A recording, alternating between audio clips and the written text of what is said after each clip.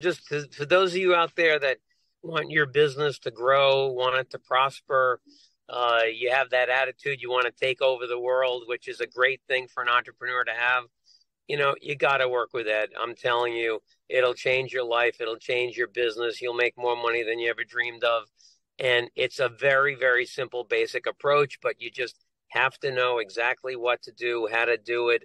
Um, you utilize the press releases that are are tailored in a way that you get more exposure than you ever thought you would get. Uh, all of these things really will are will profoundly change the way your business will grow, operate, and it will change your life.